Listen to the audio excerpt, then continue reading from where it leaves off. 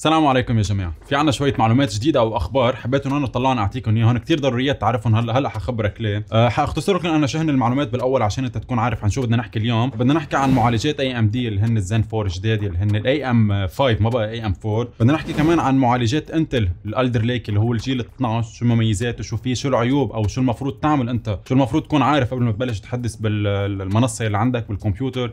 أي قطعة بدك تشتريها؟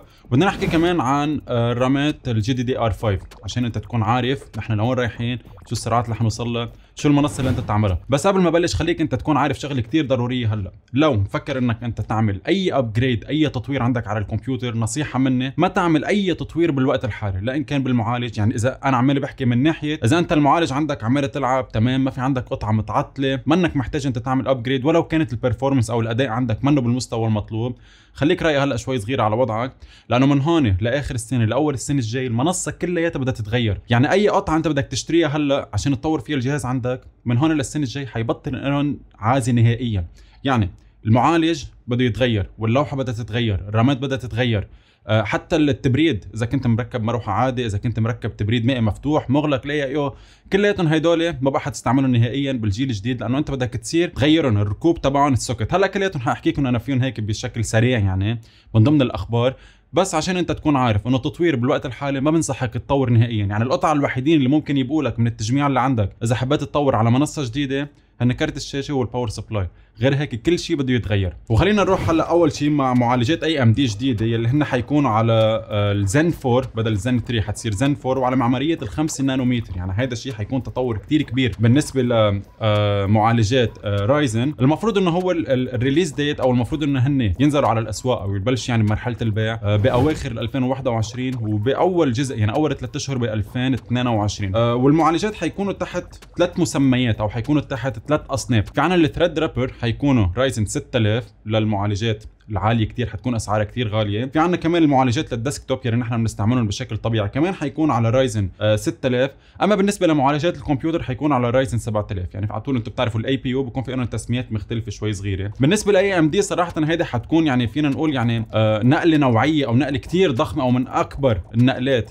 بعالم أو بمسيرة Ryzen بشكل عام مسيرة AMD بشكل عام. لأنه حتكون هي قطعه Zen Zen Plus Zen 2 زن 3 اللي هن هلأ معالجات ال 5000 5600 5900 هدول كلياتهم حتكون خلصتهم وفايتين هلأ على ال Ryzen 6000 اللي هو ال Ryzen الجديد. والتغيير اللي بده يصير هلأ بمعالجات Ryzen الجديدة إنه هن أهم شغلة بده يتغير ال socket. ال socket القديمة اللي هي ال AM4 يلي استعملتها Ryzen من Zen Zen Plus لحد الزن 3 اللي نحن هلأ عم نستعملها معالجات ال 5000 بدها تصير على socket ال AM5 LGA 1718 هلا التغيير اللي حيصير هون إنه نحن متعودين بمعالجات Ryzen المعالج نفسه ال CPU بكون ال pins عليه وبتدخل ال pins باللوحة الأم نفسها. يعني اللوحة الأم ما بكون فيها pins على عكس معالجات Intel اللي بتكون ال CPU نفسه أملس بس مغطى بطبقة من ال gold من برا طبقة من الذهب هدول اماكن ال pins مطرح ما بتركب وال pins نفسها بتكون باللوحة الأم. هالمرة الموضوع اختلف لأنه Ryzen كمان ماشي على نفس هيدي الطريق. يعني هلأ هيك المعالجات هيدي نهائيا بقى مستحيل إنه هي تركب على ال socket القديمة ولا حتى إنه لا supported إنه هي ممكن تركب بس ما تشتغل. لأ نهائيا ما بتركب لأنه ال pins اختلفت عن اللوحة الأم وصارت على نفس مسيرة Intel وبالنسبة ل socket ال AM5 ما بعتقد إنه عمرها حيكون كتير طويل مثل ما كان عمر ال AM4 طويل. يعني لوحات ال AM4 عاشت من Zen Zen Plus لهلأ للزن 3 اللي هن معالجات ال 5000 ما بعتقد حيكون عمرها هالقد طويل لأنه على حسب ما أنا قريت إنه حتى كمان الجيل الجديد غير هذا اللي نحن عمالين نحكي عنه هلأ اللي هو الزن 4 حتى كمان إذا بدنا نسميه زن 5 ما بعرف شو حيسموه على الضبط حيكون على معمارية 3 نانومتر المعالج نفسه. ما بعرف شو التغييرات اللي حتكون فيه. ما بعرف إذا حيكون متوافق كمان مع socket ال AM5 ممكن كمان يرجع يعملوا تغيير عليها تصير ترجع تغير اللوحة. ما بعتقد إنه Ryzen حتكون لهيدي الدرجة عمالة تستغل المستهلك أو تستغلنا نحن بشكل عام بتقعد تغير كل شوي صغير باللوحات أو تغير كل شوي بالمعالجات. بعتقد إنه هو حيعيش أكثر في تغيرات بدها تصير؟ ما بعرف صراحة يعني أنا عمال احلل تحليل شخصي بس. وهلأ إذا جينا على هيدي المعالجات اللي هي الزن 4 شو حتقدم اداء أو performance بشكل عام على الكمبيوتر. حتكون على عكس معالجات Intel اللي قدمت ال PCIe Gen 5 الزن 4 معالجات Ryzen حتبقى بس عماله تقدم. PCIe Gen 4 لحد هلأ. هيدي التسريبات يلي أنا شفتها أو يلي موجودة لهلأ على الإنترنت. ممكن يرجع يصير في تحديث بوقت لاحق يعني ممكن يرجع يغيروا شوي صغير بالشغل اللي هن عمال يعملوه على هدول المعالجات. بس لهلأ هي بس بتدعم ال Gen 4 وبتدعم رامات ال GDDR5 هلأ موضوع الرامات ال GDDR5 هيدي قصة ثانية هلأ حنرجع نحكي فيها بآخر الفيديو لأنه حتسمع سرعات خرافية حتسمع أداء كتير عالي. كرمال هيك أنا عمال أقول لك إذا بدك تشتري أو إذا في عندك أي تطوير على الكمبيوتر صبر شوي لأنه ما بعتقد الأسعار حتكون كمان كتير غالية. ما فيهم ينزلوا هن جيل جديد يكون بسعر كتير غالي لأنه ما حدا حيشتريه أسعار قطع الكمبيوتر في لها معدل عماله تلعب فيها بين وبين يعني مثلا أنت بتحكي المعالج. خلينا نقول نحن معالج آه، الرايزن 5 عمال يلعب بين حدود 300 دولار لل 400 دولار. ما فيني ينزلوه يعملوه ب 500 أو ب 600 دولار. بطل حدا بيشتريه بتصير العالم بتفضل تاخذ الجيل اللي قبل السرعات اللي أعلى. بضلك أنت قادر توصل لنفس الأداء اللي أنت بدك إياه. هذه بوجهة نظري.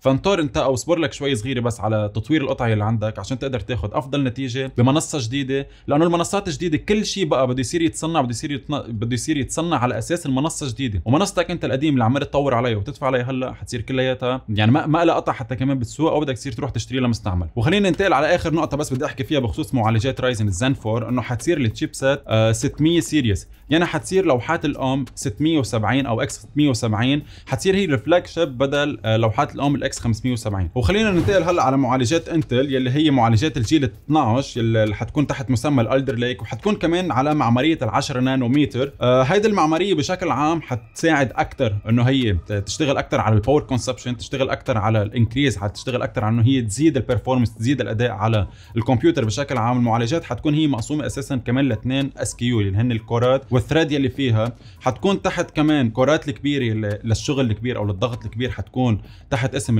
ال Golden Cores والثاني حتكون تحت اسم ال Gracemont Core آه بالنسبة للأداء أو ال performance بشكل عام حتكون على ال single core على حسب ما هن ذكروا 20 ضعف. آه الأداء عن اللي كانت تقدمه قبل بالجيل اللي قبل اللي هو نحن هلأ ال Rocket Lake اللي عمالنا نشتغل فيه أو اللي هو موجود حاليا. وحتكون ضعف قوة ال multi-core performance كمان عن الجيل اللي نحن عمالنا نشتغل فيه هلأ. يعني بشكل عام على حسب نظرتي أنا الشخصية بعد في شغلة بس قبل ما أعطيكم نظرتي أنا إنه هدول المعالجات معالج الجيل 12 حيكون هو داعم لل Gen 5 PCIe 8 Gen 5 على عكس معالجات. رايزن اللي بس بتدعم ال Gen 4 وكمان حتكون داعمة لرامات ال GDDR 5 هلأ إمتى حيكون ال release date تبعها؟ بعد هلا أنا مش عارف بعد مش مصرحين بس المفترض كمان يكون على نفس التوقيت ممكن من هون لآخر السنة أو حتى كمان على أول ثلاث أشهر بال quarter الأول من 2022 هلا هون في شغلة كثير مهمة يلي كنت أنا بدي أخبركم عنها إنه حتى كمان التبريد من ناحية التبريد لأنه المعالج نفسه مع ال socket على اللوحة الأم نفسها حيتغير ال design تبعها يعني لما أنت يكون في عندك تبريد شاري تبريد باقي مفتوح تبريد مائي مغلق ال AIO أو حتى عندك أي مروحة عادية ما بقى بتركب مباشرة على معالجات الجيل 12 بدك تضطر إنك أنت تغيرها. كرمال هيك أنا عمال أقول لك ما تشتري هلأ أي قطعة غالية لا من تبريد لا من معالج لا من لوحة ولا حتى من رامات. تستنى بس لحتى تنزل آه، الجيل الجديد من كل هدول القطع. تعرف أنت شو هن القطع اللي بدك تشتريهم تعرف أنت شو هن القطع اللي بتكون مناسبة وبتركب على المعالجات الجديدة وعلى اللوحات الجديدة عشان تقدر تشتريها. هلأ بالنسبة للتبريد الماء المفتوح بشكل عام بس الميزه الوحيده اللي فيه إنه بتقدر تشيل ال block برميها أو بخليها للمعالجات أو للوحات الأم القديمة وبشتري block جديده وبركبها وكل النظام بيبقى على نفسه. يعني أنا ما بتكلف عليه تكاليف كتير. عاليه بعكس إذا أنت شاري مبردات ال AIO ال all in 1 من NZXT مثلا وسعرها حوالي 270 دولار 250 دولار 300 دولار بدك تضطر إنك أنت تشيله كله ترميه أو ممكن يعملوا شوية تعديل. هذا لو كان مطروح هيدي الفكرة. أنا هيدي صراحة سمعتها بس من غير قنوات. إنه الركوب تبعها لأنه هي الفكرة بالموضوع أساسا ليش ما بيركب؟ لأنه المعالج نفسه حيكون المسافة بينه وبين المروحة أقل يعني حيرفعوه للمعالج حيبطل هو على نفس المقاسات القديمة اللي كانت موجودة على معالجات الجيل 11 10 واللي قبلها كلياتهم. حيصير المعالج أرفع شوي صغيرة. فكرمال هيك مروحه التبريد أو التبريد بنفسه ما حيكون حيصير في فراغ حيصير في gap بين المعالج وقطعة التبريد نفسها ال block نفسه. كرمال هيك ممكن يصير في تعديل إنه البراغي اللي بتركب عليها قطعة التبريد أو قطعة المروحة ممكن يصير يبيعوا adjustable لها قطعة كرمال تعدلها بتكون أقصر شوي صغيرة عشان يصير في تضارب بين ال plate نفسها اللي موجودة على آه، قطعة التبريد أو على ال block نفسه والمعالج ما بعرف صراحة ليش عملوا هيدا الحركة. يمكن بتنفع أكثر أو بتفيد أكثر للأداء يمكن بتفيد بتفيد أكثر للتبريد. بعد هلا أنا مش عارف. بس بشكل عام كل شيء موجود على الكمبيوتر. كل شيء قطع موجود أنت عندك. هلأ حاليا بدها تتغير بالكامل حيبقى عندك انت بس كارت الشاشة أه وحيبقى عندك بس آه، مثل ما قلت لكم ال power supply وال case يعني هيدي تحصيل حاصل. كرمال هيك برجع بعيد وبقول لكم ما تطور نهائيا بالوقت الحالي. استنى لحتى ينزل جيل جديد من هون أو حتى أقل شيء لحتى تسمع أخبار عنه تشوفه بيناسبك أو ما بيناسبك وعلى أساسها بترجع بتقرر. آخر موضوع بدي أحكي عنه اللي هو آه رامات ال GDDR 5 بالنسبة لهدول الرامات تقريبا حيكونوا هن على نفس الشكل نفس الركوب حيركبوا بس ما حيكونوا مدعومين من المعالج يعني حيقدر يركبوا عندك على نفس ال slot بس ما حيدور الكمبيوتر عندك من الأساس يعني مش إنه بدور بتقدر ترجع تعدل بال BIOS. الفكرة بس بالموضوع الموضوع انه هيدي ال GDDR 5 حتكون أسرع أكثر من ضعفين أو ثلاث أضعاف عن ال GDDR 4 يعني نحن عمالنا نستعملها بالوقت الحالي. حيكونوا ببلشوا من من ال 16 GB وطلوع بيوصلوا ل 64 128 على حسب. يعني لهلأ حيكون ملغي آه، فكرة إنه أنت تركب مثلا قطعتين 8 GB عشان توصل لل 16 حتكون أنت بتبلش عندك بال 16 قطعة واحدة طبعا حيكونوا dual channel يعني على لوحات جديدة. الفكرة إنه سرعاتهم هون هي الاختلاف فيه أو هون التطور بالسرعات بداية سرعات ال GDDR 5 بتبلش من ال 4800 ميجا هرتز بشيء بسيط بس شوية overclock صغير انت بتعملها على هدول الرامات ممكن توصلهم لل 7200 ميجا هرتز هلا 7200 ميجا هرتز تقريبا تقريبا كان حد أقصى للرامات اللي نحن عمالنا نستعملهم بالوقت الحالي اللي هن ال GDDR 4 هدول المواضيع أو هدول السرعات جديدة علينا. ما بعرف قديش حيدعم المعالج ما بعرف المعالج قديش حتكون سرعته وقديش حيكون اداؤه مع هدول الرامات كرمال هيك أنا يا جماعة عمال أقول لكم فايتين نحن على حقبة جديدة فايتين على تطوير كتير قوي وكتير عالي بموضوع الكمبيوتر. يعني نحن عمال تحكي انت من أيام الزن ومن أيام تقريبا معالجات إنتل آه الجيل الرابع والخامس. لحد اليوم ماشيين نحن على نفس الوتيرة عمالنا نطلع شوي شوي. أي نعم في اختلاف أي نعم في تطور كتير كبير عمال يصير بس ماشيين على وتيرة مثل ما هي يعني هيك وتيرة معينة. بس هلأ من الجيل الجديد زن 4 وال Alder Lake اللي هو الجيل 12 حتشوف أنت نطة أو قفزة كتير قوية بعالم الكمبيوتر بعالم السرعات بعالم القطع. يا رب الأسعار ما تكون قاتلة تجرحنا الأسعار. بعتقد هذا كان كل شيء لليوم ما في شيء بدنا نحكي عنه. في بس قبل ال release date تبع آه، الرامات ال GDDR 5 المفروض إنه هو يكون بآخر كمان 2021 يعني المفروض إنه هن ينزلوا مع بعض تقريبا معالجات رايزن مع معالجات إنتل حتى كمان مع الرامات. حنصير نشوف إصدارات أكثر للوحات الأم اللي هي مثل ما قلت لكم الداعمة للزن 4 وداعمة لمعالجات إنتل الجديدة اللي هي حتكون تحت مسمى أو تحت socket LGA 1700 تختلف عن LGA اللي موجودة حاليا بتختلف عن ال socket ما بتركب عليها. أه وبالمبدأ هذا كان كل شيء. صراحة كان بدي احكي لكم كمان عن أه كروت الشاشة اللي هن 3080 Ti و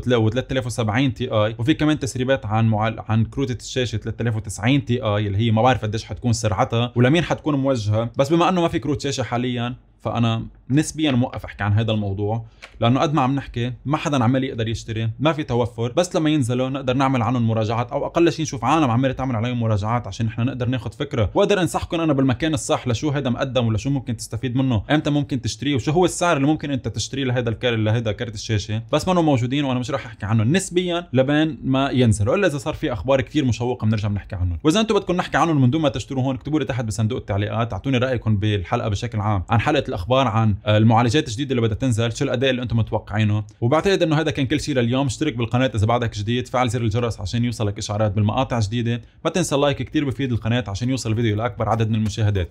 لهون صار فينا لكم إنه خلصت حلقة اليوم. بشوفكم إذا الله راد بالحلقة الجاي. والسلام عليكم.